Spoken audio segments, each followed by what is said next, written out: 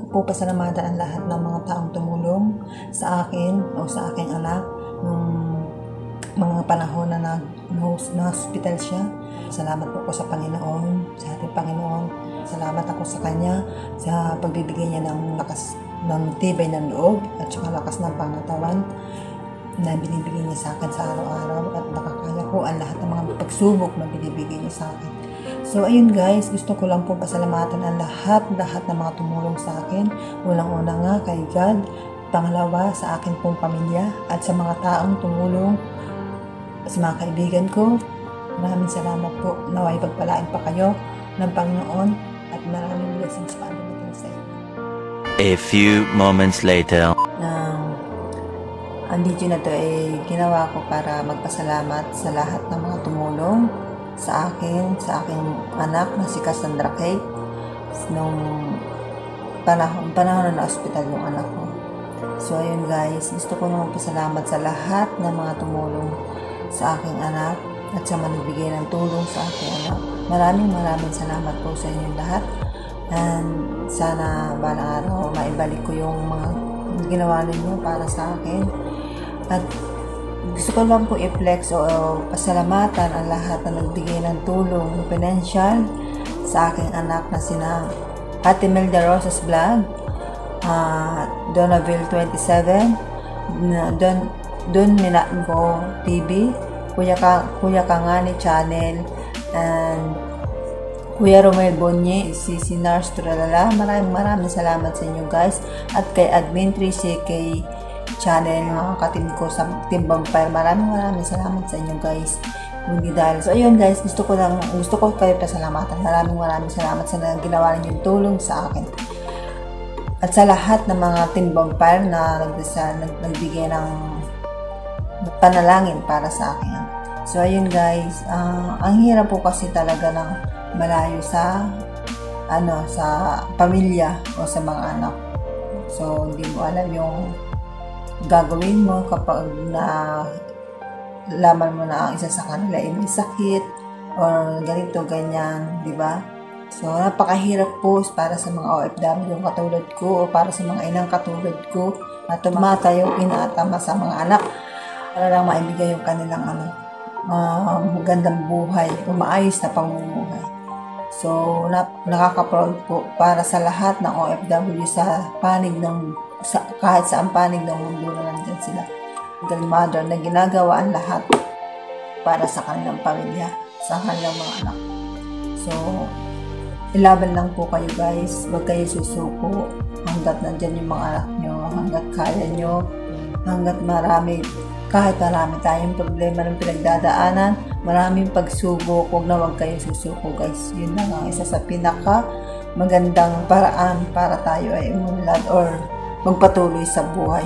So, so yun guys, maraming maraming maraming salamat po lahat sa inyo para sa, sa mga tumulong sa akin. Lalong-lalo na po sa akin mga sulit na tumutulong para sa akin channel. Kina Tita Rosie Formeda at Tito Winston, CBB, kina Yami Habit, kay na 3 Calibs TV, kay CC Queen 40 Vlogs, at kay Boss Jonix Mix TV. Maraming salamat, bossing.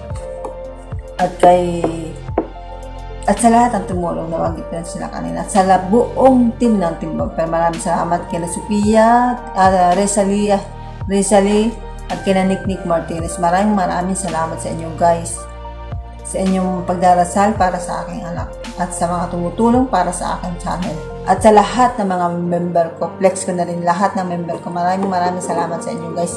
At sa aking editor na napakabait at napakasipag kay ABC de Alcos. Maraming maraming salamat sa iyo, bebe. A few moments later.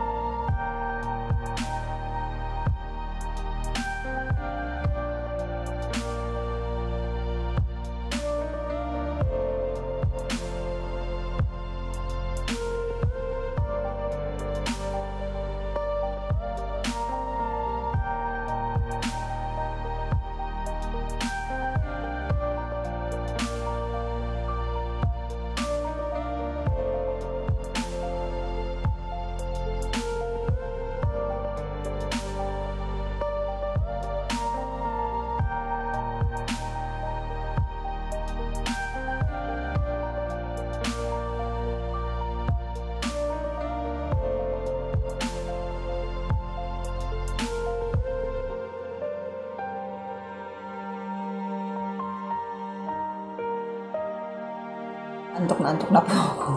so, yun guys. Muli, maraming maraming salamat sa nagbigay ng tulong financially para sa aking anak at sa mga nagbigay na panalangin para sa aking anak sa mabilisang pagbiling. So, ayun guys, stable na po siya ngayon. Maraming maraming salamat sa inyo. Taos puso ako nagpapasalamat sa inyo.